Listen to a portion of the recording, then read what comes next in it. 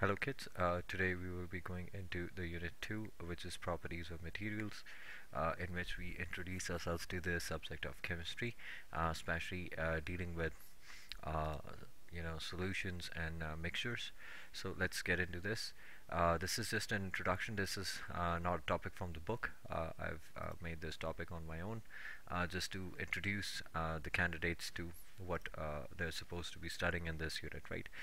So when we're talking about uh, diffusion uh, sorry when we're talking about uh, these uh, substances what uh, when we're talking about chemistry in chemistry we study substances. Substances what we call as matter right? So when we are dealing with chemistry we want to understand matter and how it is composed.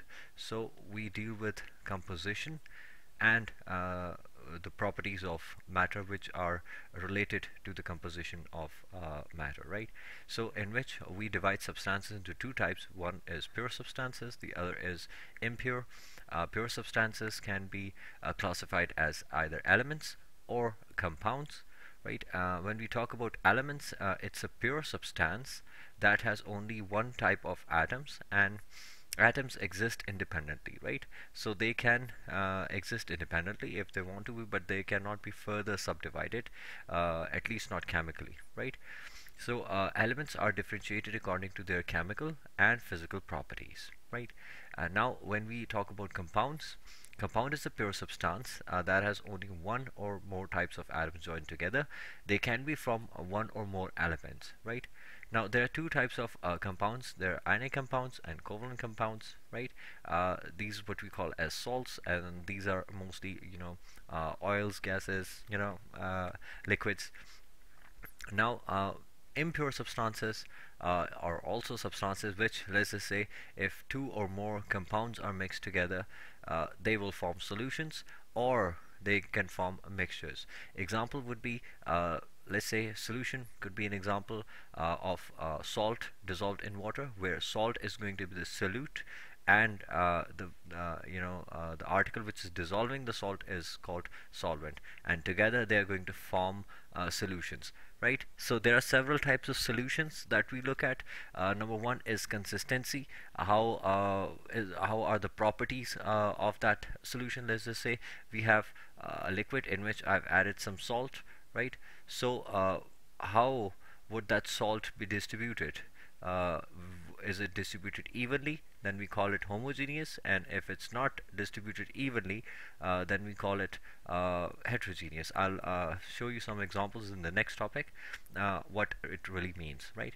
And then uh, by concentration we can divide uh, solutions into three types.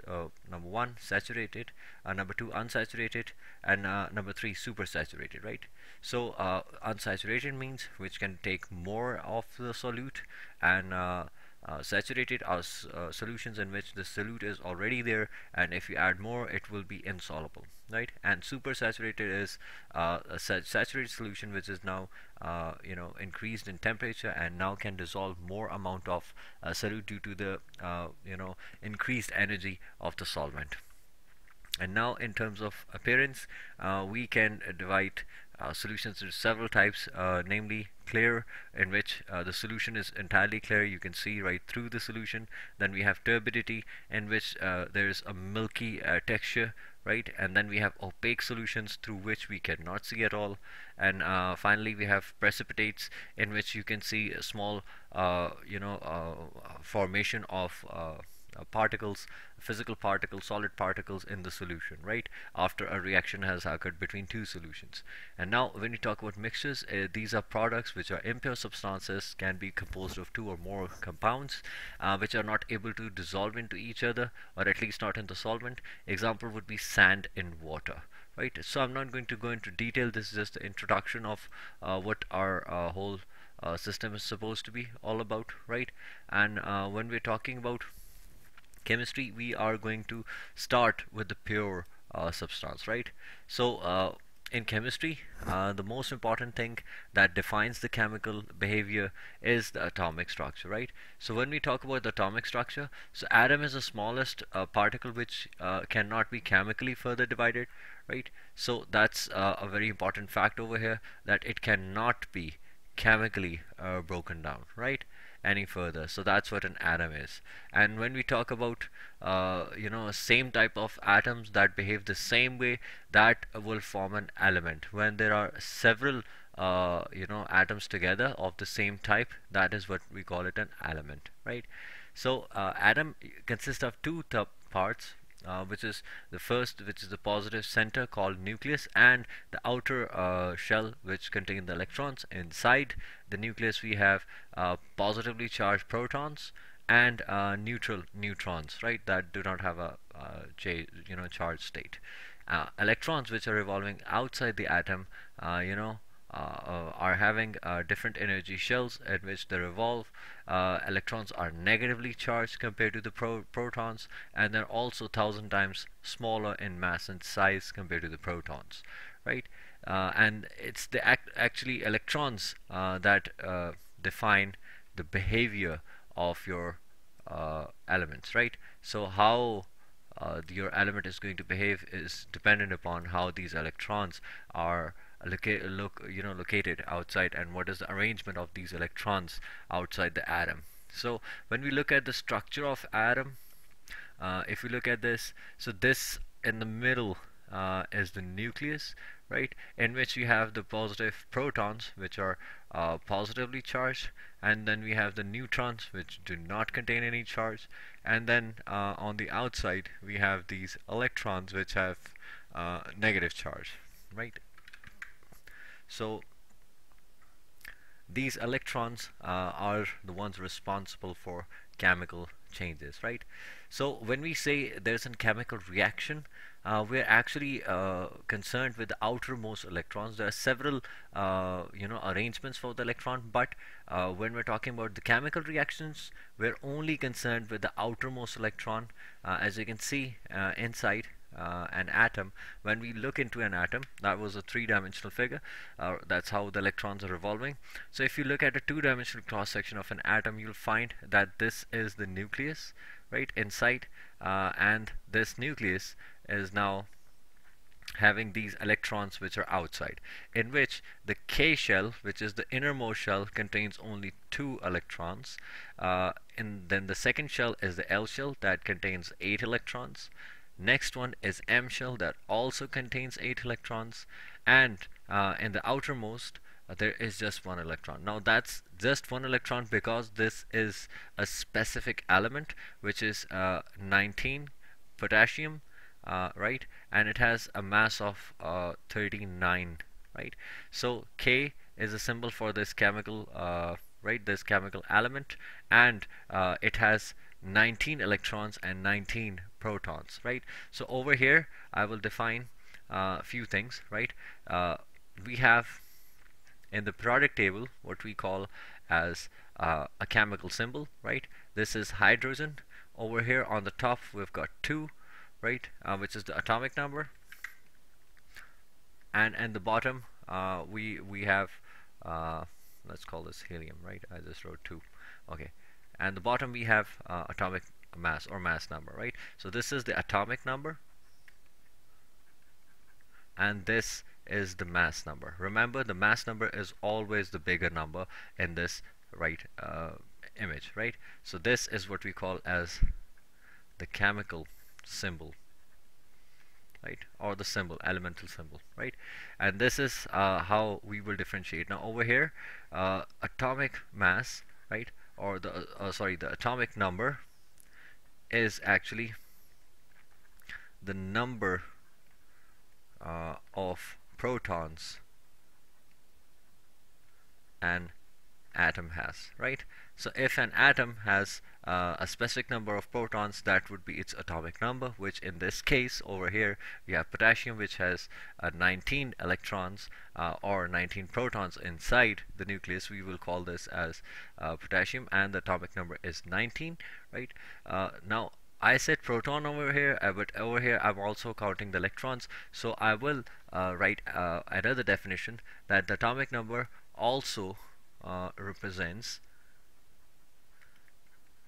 the number of electrons uh, in neutral atom right?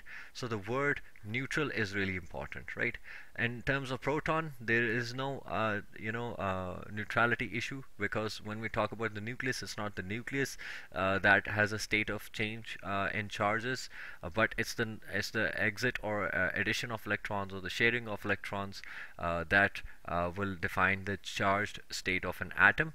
The protons do not participate in that. They yes they do have a positive charge and that's how the loss of electron results in the positive gain uh, of the atom. But when we talk about uh, the participation of uh, electron and the proton then it's actually the electrons which are moving in and out of an atom uh, causing the atom to become either positively charged or negatively charged right? So over here uh, we can safely say that uh, gain of electron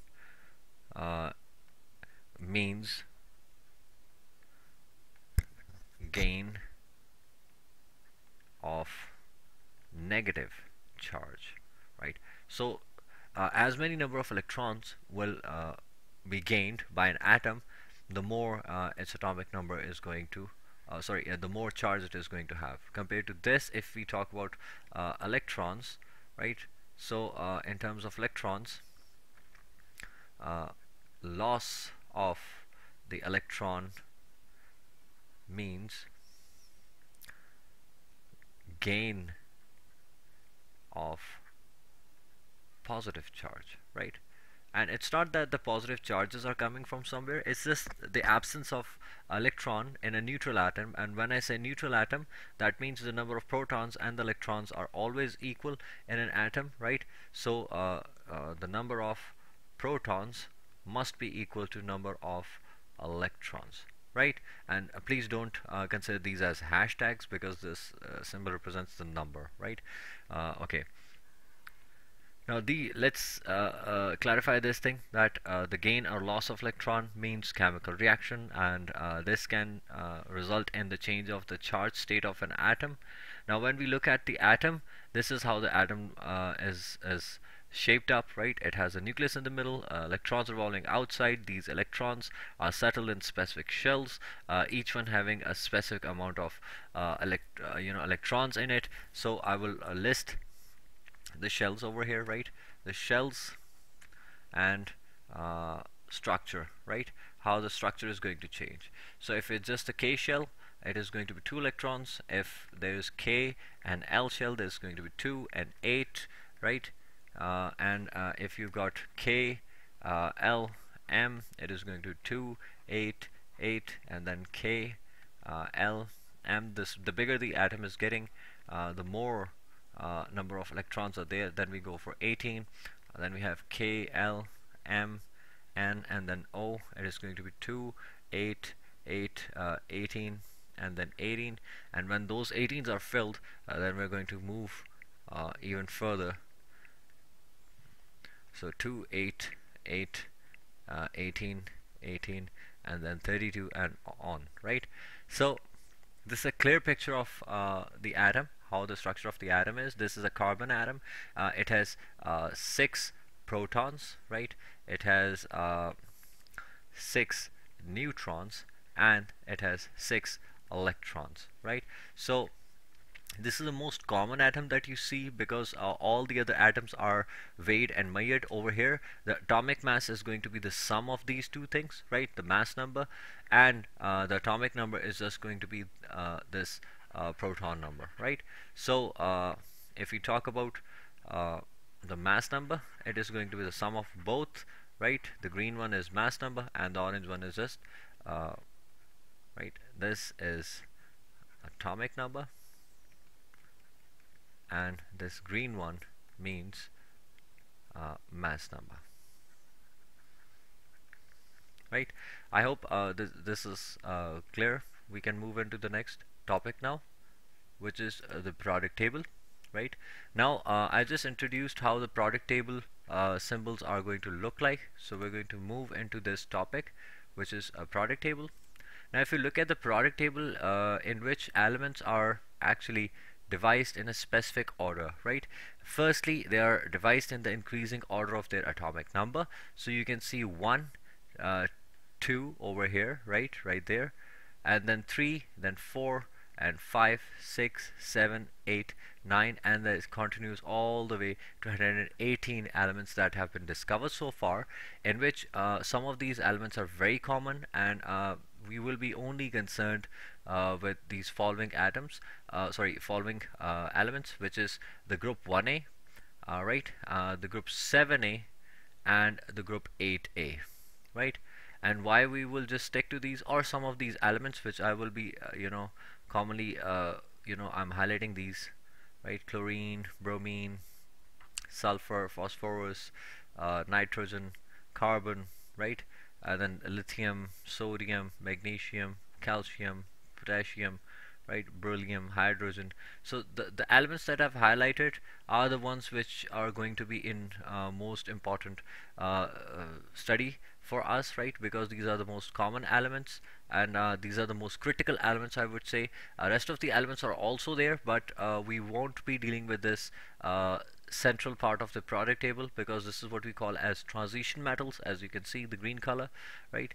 And uh, these transition uh, elements you know have a different behavior compared to rest of the periodic table. Hence they are separated including these lanthanides and actinides at the bottom right? So this uh, is how the periodic table is arranged in which uh, when we look at the periodic table right uh, the vertical uh, you know columns these downward columns are called groups right and uh, the horizontal ones right? The horizontal lines each one like this one two three four uh, five six and seven right? These are called periods right? And the groups are going to be these vertical ones. I'm going to uh, put it over here so that you can uh, clearly see where the rows are and where the groups are right so these are the groups and these are the periods. The uh, horizontal lines are periods and the vertical lines are uh, the groups. The groups actually what does the groups signify right? So the group number shows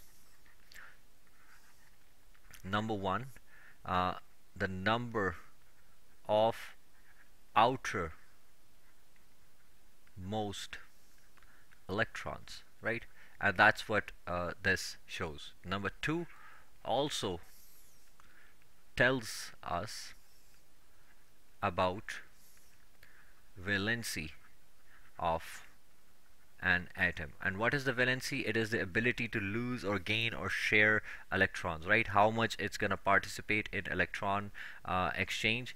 That is what we call as the valency right? Uh, in class I've given uh, a very fun name to this valency. Uh, you guys would know that but I won't include it here because uh, you know uh, it might, might cause some confusion for some of the candidates who are listening to this word for the first time right? So uh, when we talk about uh, periods right? So periods uh, period numbers or we call it period number right? That would be much more period number right? Because shows number one uh, the total number of electron shells that an atom has. Number two also provides an idea of size of atom right so how big or how small the atom is obviously if the period number is small there's there are less number of shells. Uh, if the period number is uh, like 7 there are 7 shells so it's going to be a large atom. Uh, 3 is going to be you know somewhere in between. So over here lithium is going to be the smallest atom and uh, francium over here uh, our friend is going to be the largest atom right? This is this is a smaller atom and uh, in the whole periodic table helium is actually the smallest atom uh, because we'll understand in a moment uh, while we're discussing the trends uh, of the periodic table that uh, these uh, trends are are you know dependent upon the groups as well not just on the period right? So along the period from left to right and up down you know that's called a group right? Now this is just the arrangement of the periodic table how uh, this is arranged and what is the effect of uh, the properties of the periodic table. Uh, I'm just going to go into this simple uh, uh, you know display of image. Over here if you have this periodic table right uh, in this periodic table you would find that the uh, you know uh, the the metallic character right or uh, how you would say the metal the metallic character means giving away of the electrons is is discussed there. And then we have the non-metallic character right uh, which is the acceptance of electrons right? So uh, if you look at the atomic sizes then the atomic size is actually uh, increasing down the downwards right? When you move from up to down and the atomic radius is uh, increasing if you're moving from right to left or you can say the other way around that it is decreasing if you go from right to left right? Now uh, for your section I would cross off this uh, ionization energy electronegativity because I usually use this diagram for the IGCSE so uh, I wouldn't concern you guys with this right? So all you need is is reactivity uh, for group 3 so uh, I will just list that the group 1 right trends. So what are the trends uh, of group 1 group 1 means this group which is going down on 1a right? Now number 1 uh, size increases uh, downward right? So the size increases downward. Uh, number 2 while you're moving down reactivity uh, increases right? And these two factors do not have anything to do between themselves right?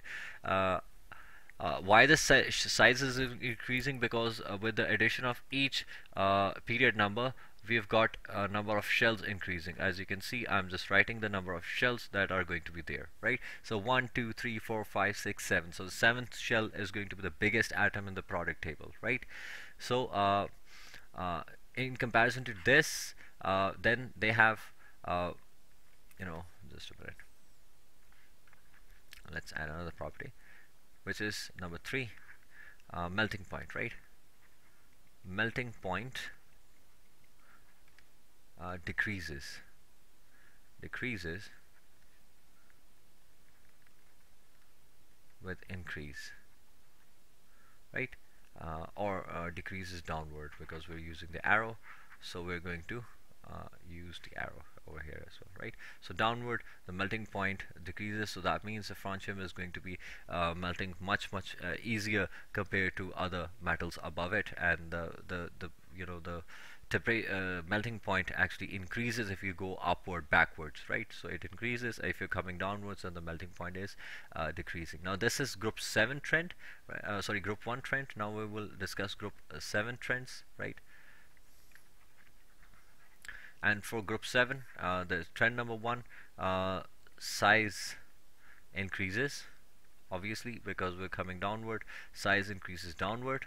Number 2 uh, on the contrary uh, reactivity uh, you know decreases. Contrast to group 1 right? It decreases. Number 3 uh, since the reactivity is decreasing then the melting point increases. So these two trends are contrasting to each other right? If you look at this one group 1 and group 7 and finally we have group uh, 8 uh, trends. And the, there isn't actually not trend. I wouldn't call this uh, trend. I would just call these as properties right? So unlike the other two I will call these as properties. So I'm just going to give you some few properties. Number one they are inert gases right uh, number two uh, outer shell is complete right? They have complete shells. That's why they don't react. Number three non-reactive. That what uh, inert means right? And number four uh, size uh, increases downwards.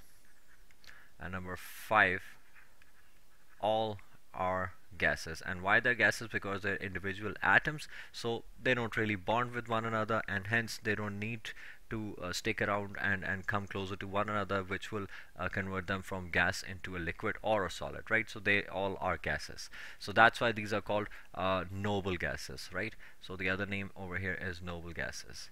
So please keep this in mind that these are uh, the three groups that we are concerned with at your level. Uh, as your level will increase in IGCSE you will be including more of these groups right? Uh, group 2a now about valency and chemical formula.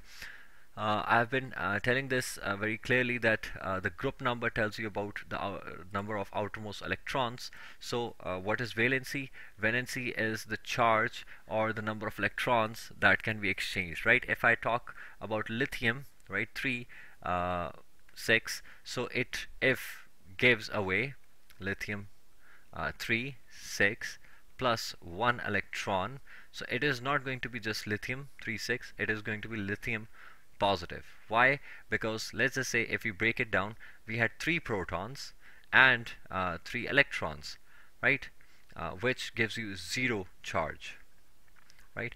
Over here, when the lithium has lost one electron, now it has left with two electrons, one being gone, right? One after giving away one electron. Uh, now we have uh, plus one charge, right? And this one electron is transferred right so whenever a metal and these are uh, metals right group 1a is a metal group 2a is a metal group 3 is a metal so all these elements the the ones I'm putting in blue oh sorry in yellow right are going to exchange electrons. They will give away the electrons. I'm not highlighting hydrogen because that's a non-metal over here.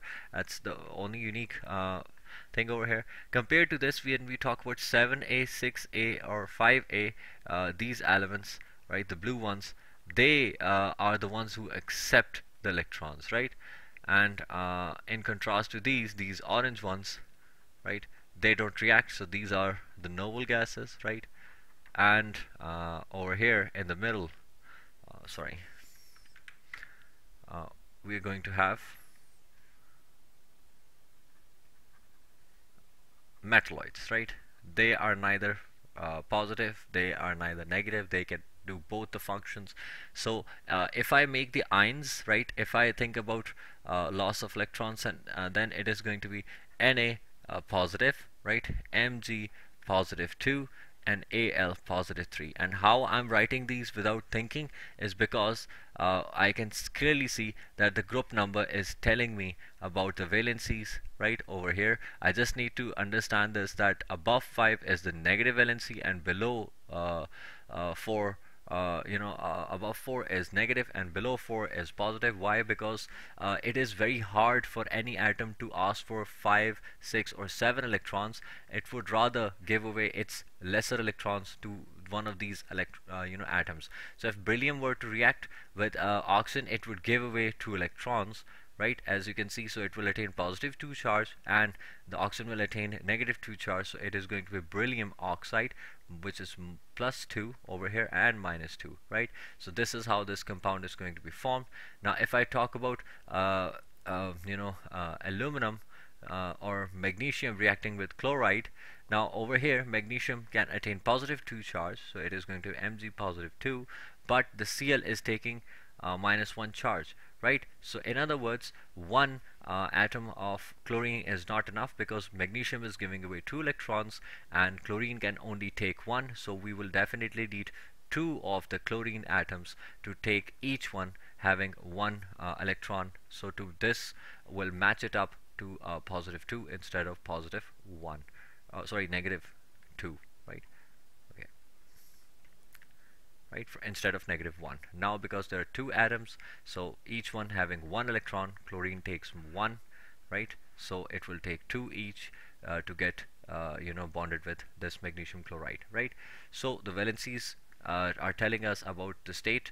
So how to write chemical formula? I've given this trick several times that if you're writing a formula let's say Na uh, we have positive and then uh, we have Cl which is negative. So just you just need to cross uh, these numbers and you can get the formula. In this case it is going to be NaCl because one is not written. Let's just say if we've, got uh, aluminum which is uh, plus 3 and then we have uh, chlorine which is minus. Now this is one atom of chlorine. Uh, aluminum has to give three electrons. So definitely we will be needing three uh, chlorine atoms right to make a combination. So this will give us uh, Al plus 3 and uh, Cl minus 1 in which there is going to be uh, 3 number of chlorine atoms which are 1 2 and 3 right? So these were are here three atoms right? So AlCl3 the other way is just to just you know write this formula. And again the trick that I just gave you just cross right? Uh, let's just say if this was uh, minus 1 so uh, over here 1 is gonna go this way and uh, this 3 is gonna go this way so it is going to be AL uh, CL3 right so you can do this to write the formula or you can use this to write the formula both ways it's the same thing uh, you will end up with the correct formula if you count the charges right Finally, uh, what are the types of bonds that you will be discussing in this unit? There are uh, three types of uh, chemical bonds that we discuss, right? Uh, number one uh, is the ionic bond, which is the most common, right? And ionic bond is the bond in which there is a complete transfer of you know electrons from metal to a non-metal, right? So this is a very important fact. And uh, when we talk about covalent bonds, then we're discussing sharing of electron between two non-metals, right? So the metal is not involved in uh, covalent bonding. And then finally we have metallic bonding, which is uh, between the atoms of a metal, uh, between the positive centers or the positive ions and the freely elect moving electrons which conduct electricity, right, in the metals. That's why the metals are conductor because they have these free electrons, right? So what is ionic bond? it is the complete transfer of electron from one atom which is metal to another atom which is a non-metal is called an ionic bond right? And over here you can see that uh, the sodium having one outermost electron has transferred its one electron to the chlorine and hence there are now charges involved right? The outermost is now empty why because it gave that uh, one electron and now remember in these diagrams I've only uh, displayed the outer electrons and not the inner shells right so it depends on the question. If they ask you to write the complete structure, you have to write the complete structure. Otherwise, you're just supposed to make the outermost shell, right? And uh, the other one, if you look at this, Mg uh, has two outermost electrons, so it will give two electrons uh, to the oxygen which requires also two electrons to complete its outermost shell. So in this case uh, magnesium is going to be positive 2 and oxygen is going to be minus 2 right? Over here we have uh, calcium fluoride in which again calcium is giving away two electrons but fluorine can only take one. So there are two fluorine atoms involved each having minus one charge to compensate for the positive two charge which uh, this calcium is going to have right? Now these are just three examples there are several examples that we have done in your uh, workbook right? So I'm gonna just move uh, forward. With the covalent bonding and covalent bonding uh, there is mutual sharing of electron pairs by both the atoms. If you look uh, out uh, if you look at water which has hydrogen oxygen hydrogen has one electron uh, in the outermost shell and oxygen has six. So oxygen requires two to make it eight and uh, hydrogen requires one more to make it to the duplet rule right? Now I've discussed duplet rule and octet rule. I will repeat this over here right? So when we talk about the duplet rule right duplet rule uh, means hydrogen and helium. It only applies to these uh, elements right? 1 1 2 4 uh, require uh, two electrons in their outer because they have the K shell as the outermost shell which only requires uh, outer K shell right? Which is K2 right? So that is the duplet rule and then we have the octet rule. In the octet rule we devise that uh, elements uh, try to attain out outer shell configuration of noble gases right? And please don't mind my writing because I'm speaking along with it so you can uh, hear what I'm writing uh, even though if it just looks so ugly. I'm using a digital pad so uh, you know I'm uh, not really smooth with it. It takes me a lot of time to write uh, neatly right? Okay so uh, elements try to attain the outer shell configuration of noble gases that is eight uh, electrons in outer shell right? So there needs to be eight electrons in the outer shell uh, for them to uh, feel stable and that is why these electrons are going to now react. If you look at hydrogen then there are two electrons involved. So both are now sharing so each one is having uh, there are two in the outermost for the case of oxygen which requires eight right so there are six electrons in each six so they will share two here and two here so making it total of 8 for one atom and 8 for the other. If you look at this nitrogen which is going to have triple bond each having 5 in the outermost they will share 3 electrons each making uh, 8 for this electron oh, sorry this atom and 8 for this atom as well right?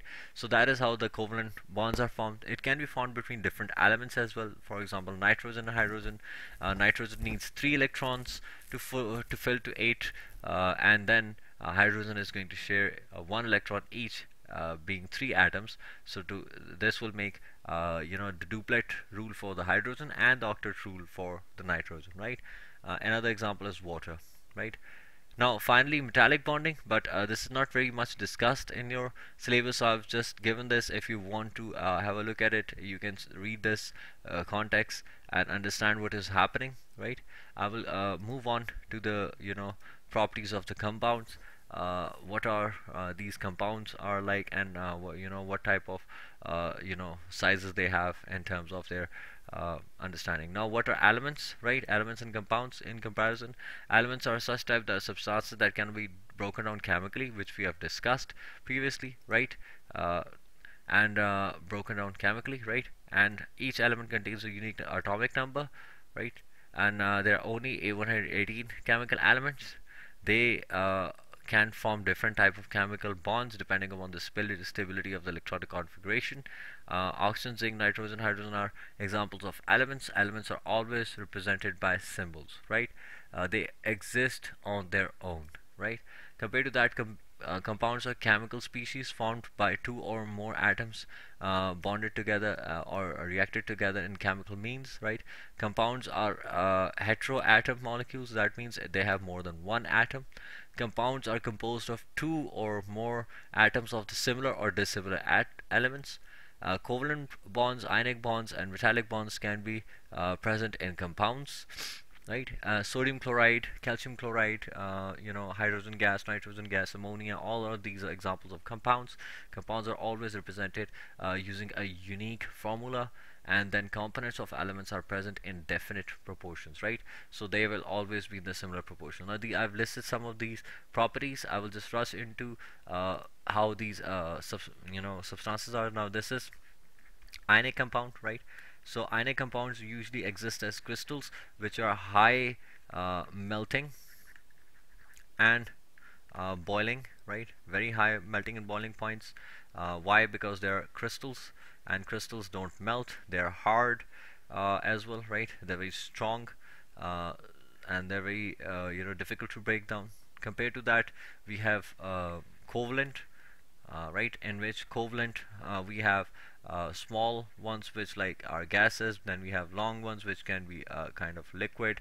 And then we can have you know biologics which like you can say fats or bigger bigger bigger chains of atoms what we call as macro molecules right? Uh, more examples would be uh, diamond and graphite right? We, we have discussed this. So diamond and graphite they are also uh, these uh, macromolecules right?